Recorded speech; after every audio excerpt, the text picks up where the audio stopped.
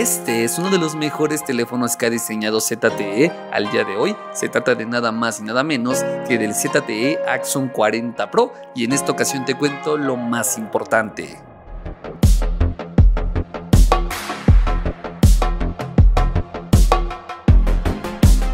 Bueno, si te parece, comencemos como siempre por hablar del diseño, donde en este caso encontramos una línea de verdad muy elegante, muy bonita, con materiales de construcción en cristal y esta combinación de negro con dorado que le queda bastante bonito. Tendremos unas dimensiones de 162.9 por 72.9 por 8.46 milímetros y un peso de 199 gramos. Como puedes ver, las dimensiones son bastante buenas, está un poquito alargado, pero es bastante cómodo de tenerlo en el bolsillo y es muy ligero, por esa parte no va a haber ningún problema. Y dentro de lo que destaca del diseño encontramos este módulo de cámaras que sobresale ligeramente del cuerpo del teléfono, sin embargo también tiene una apariencia muy bonita y en un momento más hablaremos eh, de sus cámaras. Así que en general tendremos una línea de diseño muy bien conseguida, bonita, con buenos tactos, buenos materiales de construcción, así que por este apartado bastante bien. Y bueno, pasando ahora con uno de sus mejores apartados, la pantalla donde encontraremos un panel de 6.67 pulgadas con una resolución Full HD Plus y una tasa de actualización de 144 Hz, por lo cual quiere decir que tendremos una de las experiencias más completas, más vivas, con excelentes colores, muy buenos ángulos de visión y que generalmente me encantó, además de que tendremos una ligera curvatura que le da una experiencia mucho más inmersiva y tendrás un excelente aprovechamiento del frontal. La verdad es que la pantalla me encantó. Y bueno, dejando a un lado su bonito diseño, pasemos ahora con el corazón del equipo, la parte interna donde encontraremos el procesador Qualcomm Snapdragon 870 5G de 8 núcleos, con una capacidad de 128 GB de memoria interna y 8 GB de memoria RAM. Y bueno, esto quiere decir en palabras más simples que tendremos una experiencia muy completa, muy potente, tanto en aplicaciones cotidianas como redes sociales, como también en juegos. Sinceramente yo no soy mucho de jugar como lo he comentado en varios videos,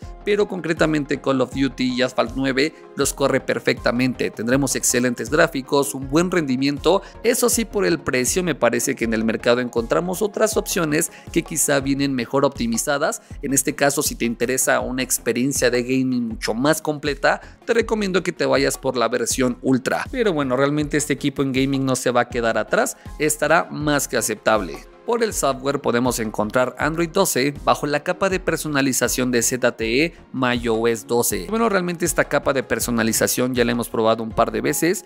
En temas de personalización no viene tan completa, pero me gusta que sea simple y que tenga lo necesario. Pasemos ahora con otro apartado muy importante y destacable de este Axon 40 Pro. Tendremos una batería de 5000 mAh con carga rápida de 65 watts. La batería viene muy bien optimizada para darte un día y un poco más. Eh, realmente me sorprendió bastante a pesar de encontrar un excelente panel o pantalla.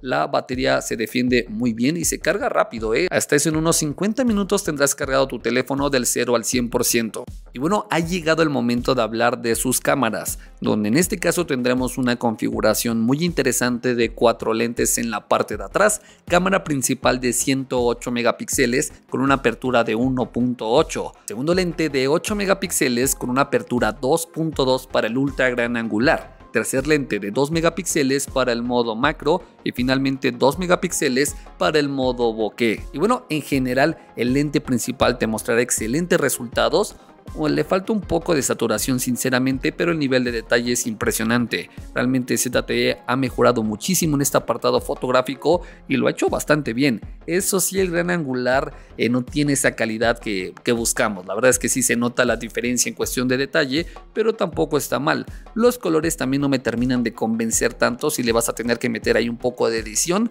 pero en general para redes sociales, subir stories, me parece que no está nada mal. También eso sí noté que suaviza un poco la fotografía, a pesar de no tener eh, algún efecto activado ni mucho menos, tiene un ligero toque de suavidad.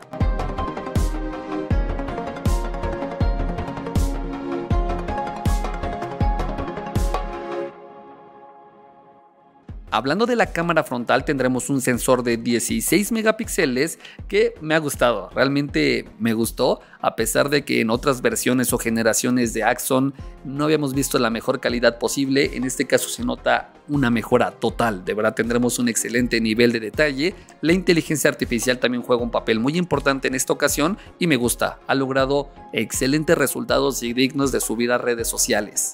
Y bien, finalmente pasemos con el precio y las conclusiones, que es de nada más y nada menos que de 13.999 pesos mexicanos, un precio razonablemente bien y que me parece que al día de hoy es el mejor momento para comprar eh, este Axon 40 Pro, ya que en su lanzamiento sí se me hacía un precio eh, algo caro, pero realmente por todo lo que te ofrece el desempeño, diseño, eh, cámaras y sobre todo pantalla, es una de las mejores opciones que podrías comprar por este rango de costo. Eso sí, lo que no me termina de convencer realmente es la interfaz. Me parece que necesitan un rediseño tanto de las cámaras como del home. Así que por esta parte, si lo pueden considerar ZTE, estaría magnífico.